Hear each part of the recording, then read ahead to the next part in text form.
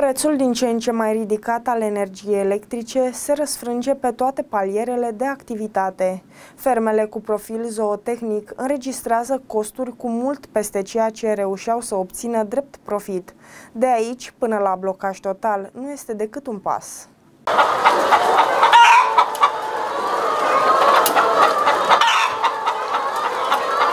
La ferma avicolă din satul Mehedințean Bistrița sunt crescute 8.000 de găini, care produc ouă proaspete. Odată cu scumpirea prețului la energie electrică, au crescut automat și costurile de întreținere a fabricii.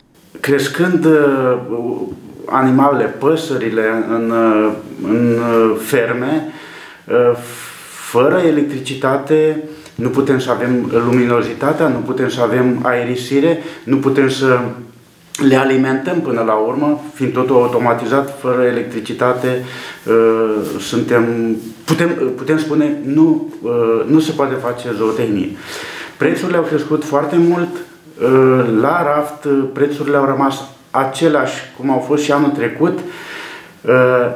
A fost o perioadă când cu sărbătorile am, am avut aceste prețuri, dar ne așteaptă o perioadă mult mai grea Uh, perioada de primăvară când scad prețurile la, la ouă și atunci nu știm cum uh, vom face, cum vom trece această perioadă dacă uh, nu se, va, nu se vor lua măsuri, în special cu, cu curentul electric, ca să diminuăm din costurile pe care le avem. Costurile au crescut cu 25% la energia electrică în această fabrică. Noi uh, producem, uh, uh, avem bucătăria furajeră, mai avem,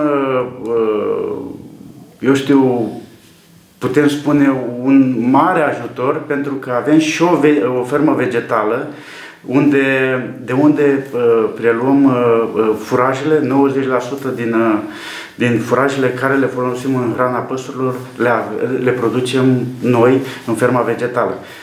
Aici putem spune că uh, ne-ar fi de ajutor ca să trecem această perioadă în speranța că prețurile la energie vor scădea și uh, vom putea mai departe să, să funcționăm. Dar dacă nu se va întâmpla lucrul ăsta, nu știu ce, ce o să facem în perioada următoare. La această fabrică, hrana pentru animale este făcută în halele aparținătoare fermei, ceea ce înseamnă un consum și mai mare de energie electrică.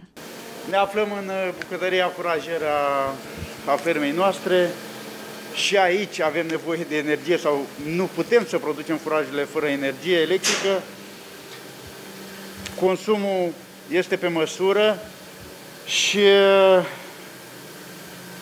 prețurile crescând mari și prețul la furaj a crescut foarte mare și atunci uh, la produsul final uh, avem costurile care sunt în momentul de față. Cum spuneam, avem o, o facilitate, aș putea spune, faptul că ne producem singuri uh, uh, uh, furajul pentru, găi, pentru ferma noastră este un avantaj, dar este un avantaj pe termen scurt. Odată cu scumpirile prețului la energia electrică, nu mai poate fi numit un avantaj atât de mare, însă fabrica nu se poate închide. Nu mai este un avantaj, dar nici nu putem să închidem pe moment ferma, pentru că avem oameni angajați, sunt 11 oameni care lucrează în ferma noastră. Am încercat să producem și noi în, în țară, să nu mai importăm și am încercat să integrăm producția. Avantajul nostru este acum că cerealele sunt din producție proprie, de la ferma vegetală și pe o perioadă scurtă putem să, să trecem uh, acest moment dificil care uh, îl trec, de fapt îl trece toată zootehnia din uh, România.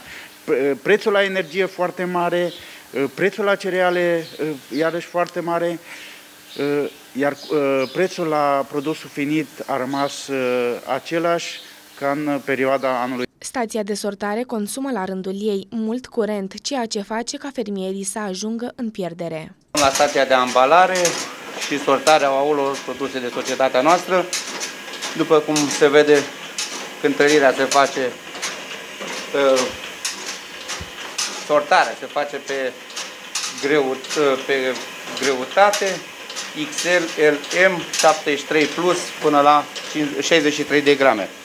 Aici înțeleg eu de la dumneavoastră că energia electrică este vitală pentru activitatea pe care o desfășurați.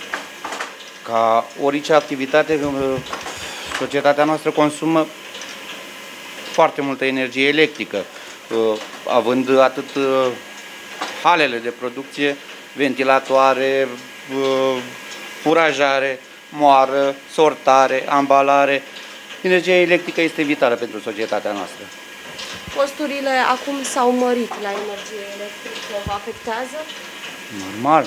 Costurile de, costurile de producție au crescut, costurile oului a rămas aproape la fel. Prețul crescut la energia electrică a însemnat un real dezastru atât pentru simpla întreținere a unei proprietăți, cât și pentru marile fabrici din țară.